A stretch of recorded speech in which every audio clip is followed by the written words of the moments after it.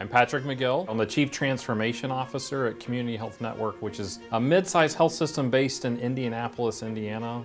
Community Health Network is 16,000 people that wake up every day to live our mission of exceptional care simply delivered.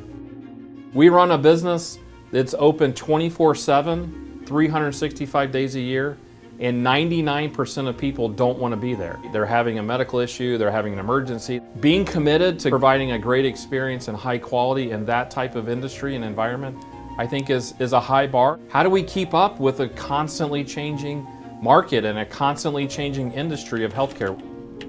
We know that a lot of people start on the internet when they have a healthcare need, so we wanted to really create that frictionless experience so people have that experience in every other industry outside of healthcare. And so we really wanted to duplicate or replicate that and we're introduced to DexCare and it was uh, a relationship that's blossomed and really grown into uh, one, of, uh, one of our great partnerships. They're the connection between Google search and actually booking an appointment. So they're the functionality, kind of like the OpenTable for healthcare.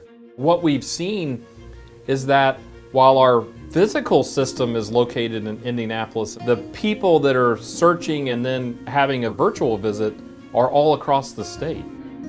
As you think about healthcare evolving, people want to have that level of care convenient, on their phone, in their home, just like, again, like they experience everything else in their life. I really do feel like DexCare has brought that capability and that expertise to Community Health Network. And quite honestly, I'm not sure where we would be uh, without DexCare.